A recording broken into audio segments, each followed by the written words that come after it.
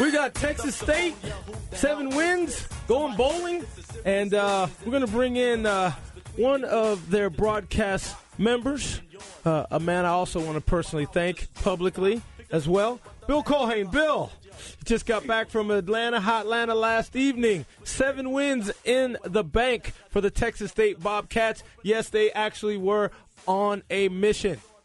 How you doing? Yeah. Hey, Foss. Uh, great morning to you, Jeff. Great to meet you as well. And and yeah, Foss. These, these are great times to be a Texas State Bobcat right now. Well, uh, seven wins. It should be a certainty going bowling. Uh, do you have any ideas, Bill, um, uh, about where the Bobcat Nation goes next? Well, and that, of course, that was the sixty-four thousand dollar question, Foss, and it's been that way really since since we got our sixth win against Arkansas State uh, two Thursdays ago when we blew them out at Bobcat Stadium. The question has been, where will the Bobcats end up uh, come bowl time? The Sun Belt Conference has three bowl tie-ins: the New Orleans Bowl, the GoDaddy.com Bowl in Mobile, and the the new new bowl, the Camellia Bowl in Montgomery, Alabama. Well, the Sun Belt has four teams who are bowl eligible. Um, ourselves, obviously, uh, Louisiana Lafayette, and Arkansas State and South Alabama, who, of course, South Alabama, they're in Mobile, Alabama. Um, so, you know, the question is, you know, of the four teams, who who will get the three bids uh, from the Sun Belt tie-ins, and then we're keeping our eye on the landscape, college football landscape, to see how things shake out in terms of the playoffs, the access bowls. You know, who's going to end up with you know filling their quota in terms of some of the five conferences. There there are still some games to be played that could very well impact the fate of the Bobcats. For example, Temple, they're a five win team. Well, they have one game left against Tulane. Um, so it's a it's crazy right now. I would like to think, and I know I'm a little biased. I would like that we have our best dress on. We've got our hair done. The makeup looks good, and we borrowed Grandma's earrings. Um, we're just looking for somebody to ask us to dance. that, that, hey, that is great. You know, just somebody to love me, right? that the, the queen size just want somebody to love me. Yeah, okay. Well, listen, Bill. I also want to say publicly, uh, I certainly appreciated your uh, time, effort, and professionalism. Uh, sitting in and doing some of the uh, James Bowie high school football games with me uh, consummate professional. We certainly had a blast and uh, appreciate your son assisting with stats and, and all that as well during the football season uh, on the 6A level. Thank you kindly. Hey, hey, Foss. Uh, the, the pleasure was certainly mine, and I I want to applaud the the Bowie Booster Club for putting that deal together because uh, I know I know the coaching staff. I've known Jeff Abels for a long time, and I know those uh, student athletes at Bowie High School appreciated the coach. And I agree with what you said before I was before I joined. Uh, it's too bad that the Bulldogs couldn't pull off against Klein Oak.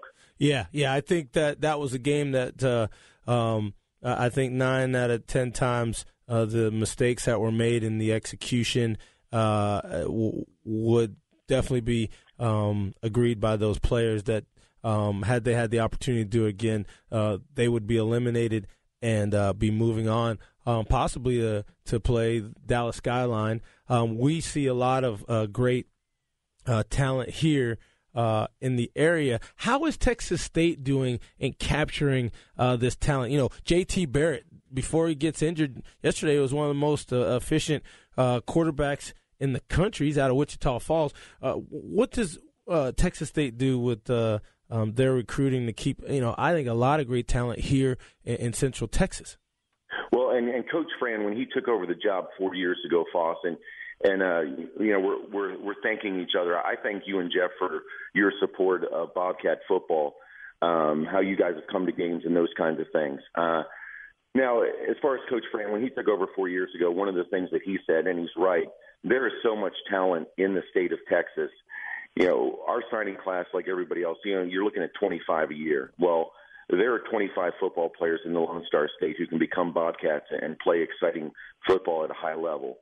We have also, and this is just trying to trying to build up the numbers. We've also gone the JUCO route. As a matter of fact, there's one kid I know you guys know about, David Mayo, uh, the leading tackler in all of FBS football in tackles per game. Well, Mayo's out of a little town in Oregon, Scappoose, Oregon. Grew up an Oregon State fan. Wanted to play, wanted to play Pac-12 football. Didn't get recruited. He goes to Santa Monica, there in the greater LA area, plays one year at Santa Monica.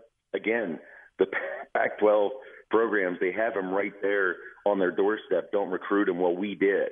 And here he is, a senior, and again, he's leading the nation in, tackles. So we will, on occasion, go the JUCO route, but it's got to be the right fit in terms of the kid and in terms of the position, uh, of course. But uh, Coach Fran, he has cast a broad net here in the state of Texas. Uh, Jason Washington, a guy I know that uh, you yeah. you guys yeah we know. saw him uh, on Thursday. Uh, Jeff and I were down on the sidelines. Uh, Yep. Brian Orakpo was watching uh, his Right. brother Mike, but Mike is injured, and so he was supporting the Bobcats uh, like we do. Um, so so absolutely, um, we Yeah, appreciate. yeah. So that. yeah, so so Jay Wash, Jay Wash, uh, former two sports star uh, for us at, at Texas State, and um, our, our corners coach. Anyway, you know, he's got that San Antonio area where you guys are uh, right now, and um, you know Jay Wash, he's just a, a recruiting extraordinaire. He knows the state of Texas, and our staff in its entirety um, do such a great job here in the Lone Star State. Um, a lot of veteran coaches who have a number of connections, and you know our starting quarterback. I, I know a guy, Foss, that you like a lot. Tyler Jones is a sophomore from Stephenville High School. Everybody in the state of Texas who knows an inch about Texas football knows Stephenville High School, and uh, you know, so we get them from all over. I, I guess my my point: DFW, Houston, San Antonio, Centex, uh, you name it. We uh, we have kids who uh, who are doing exciting things in San Marcos on the football field. talking with Bill Culhane, uh, part of the Texas State football broadcast, and also was kind enough to take time out on the weekdays to uh, also come up and do some high school 6A football with me on the broadcast. I want to tell you this uh, your guy Mayo goes to Santa Monica College. I've actually worked out. Uh, at Santa Monica College, because my best friend from colleges went to Santa Monica High School. This is the interesting thing. You talked about Oregon State. Well, both Chad Johnson and Steve Smith, as we know, uh, both wide receivers that have played in the NFL, one still playing, both went to Santa Monica College as well, then Oregon State.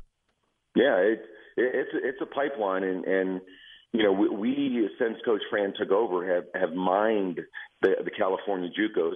I, I don't think there's much argument.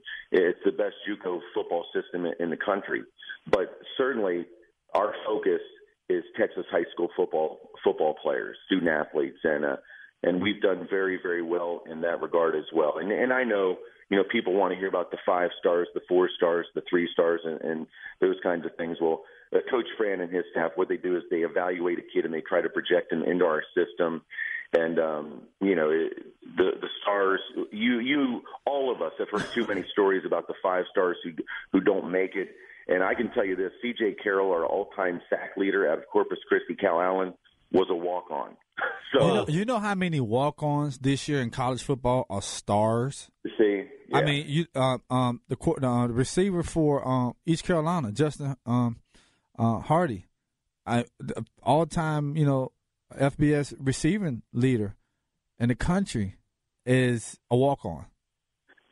Yes, I mean precisely. yeah, I mean so just because you know Steve, when me and you were coming out of school, there were no stars. Right. there were no stars. You know, so just because you have a star, that don't mean you can play football. you know, I, I think that I think The that's only highly we have was overrated a lot of the time, and a lot of the kids who actually deserve to be to have scholarships don't get them. right. And you know, you look at uh, I look at the kid Scooby Wright from um, Arizona. He is a beast.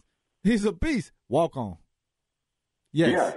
Yeah, e- exactly, exactly right. And you know, as we all know, Coach Fran, you know, this isn't his first rodeo. He he has the ability to to look at a kid along with our staff. Again, I, I can't say enough about you know John Thompson, our defensive coordinator, and our our entire staff. They they do such a great job of finding guys who maybe others don't see as a fit, whether it be resume or stars or whatever the case may be, and all of a sudden we see them playing for the Bobcats and and they end up you know, leading the nation in tackles or, you know, even Tyler Jones, our, our quarterback, you know, he's, he's a guy who this season ends up with a touchdown to interception ratio of 22 to 7. I think there are a lot of teams who would take that kind of production from a, a sophomore quarterback. Absolutely, and and more to come with that. Please keep us uh, apprised of what's uh, going to happen because if you go over to New Orleans, I may I may have to hit that media media lick and roll with uh, you and Brant, man. just hey, see what's happening you, over there. You know, just you just guys, reporting. You guys, yeah, you guys are always welcome, Foss and Jeff. And again, uh,